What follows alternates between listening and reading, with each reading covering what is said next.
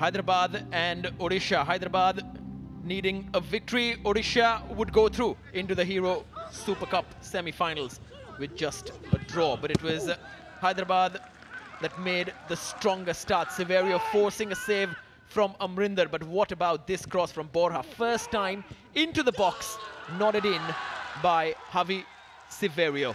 At 1-0, it seemed like Hyderabad would go through and create more chances and put Odisha on the back foot. But Odisha fought back and Siverio's goal would eventually be cancelled out. But they had to soak up the pressure, they had to dig deep, and they had to make sure uh, that no more goals came from the talented and attacking Hyderabad lineup.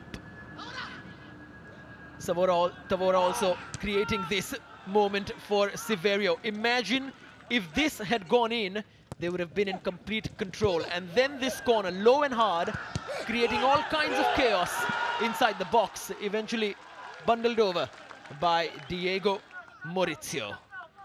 All the pressure paying off at one all. Suddenly, Odisha were back in pole position in this group.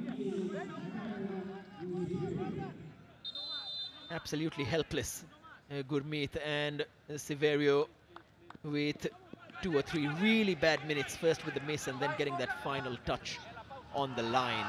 But Hyderabad would not stop trying. However, Siverio once again in the air. So trusted, so precise usually, missing that opportunity, a free header. And then Diego Mauricio escaping João Victor and finding Victor Rodriguez for a tap in. At that time, Odisha knew that they were the favorites to go through and the comeback was becoming impossible for Hyderabad.